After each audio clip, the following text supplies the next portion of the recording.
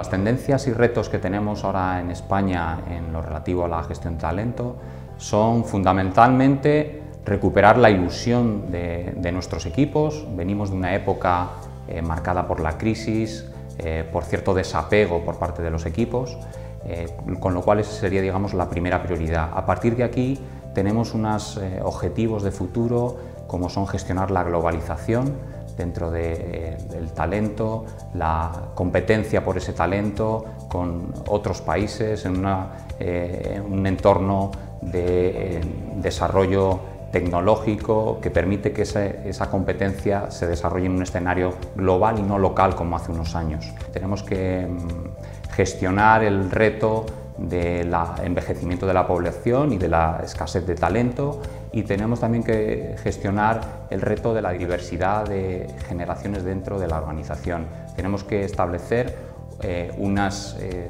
respuestas a medida para cada una de las generaciones que están trabajando y conviviendo dentro de nuestras organizaciones.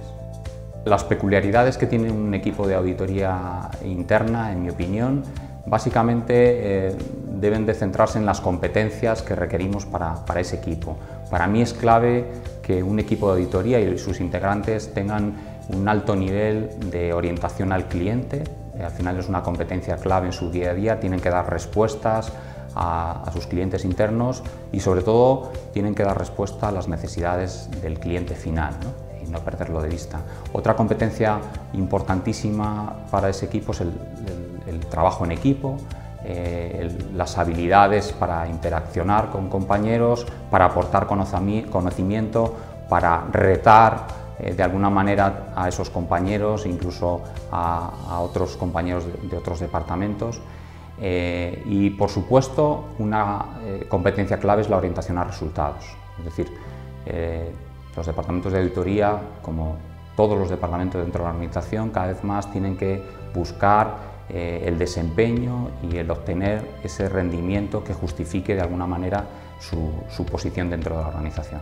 Lograr un buen equipo de auditoría interna, un buen ambiente, eh, digo que es un arte más que una ciencia. Al final requiere de cuidado en el detalle, de poner en práctica herramientas de recursos humanos también, como son eh, el feedback, como son la formación y el desarrollo, como son el compatibilizar eh, la, vida profesional con la vida eh, laboral y el dar una serie de abanico de posibilidades en torno a esa flexibilidad que cada vez más demandamos los profesionales. Las personas al final marcamos la diferencia dentro de las organizaciones y somos el máximo exponente para dar eh, un servicio diferencial a nuestros clientes. El equipo de auditoría es una parte más de ese con lo cual contribuye de una manera decisiva pues, a, esa, diferencia, ¿no? hacer que la experiencia de, nuestro cliente al final sea única.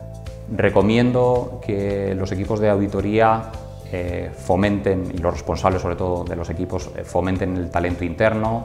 Eh, resulta un, un, valor añadido fundamental dentro de los equipos de auditoría es la aportación de talento a otros departamentos. Creo que esto es un signo distintivo del departamento y es una de las principales aportaciones eh, desde el punto de vista de gestión de personas. Por supuesto, el departamento aporta otras muchas cosas, pero centrado en, lo que es eh, la gestión de personas, creo que es una contribución fundamental de los gestores de auditoría interna el generar talento, desarrollarlo y, por qué no, eh, poder compartirlo o proporcionar ese talento compartido con, con otros departamentos de la organización que lo puedan necesitar.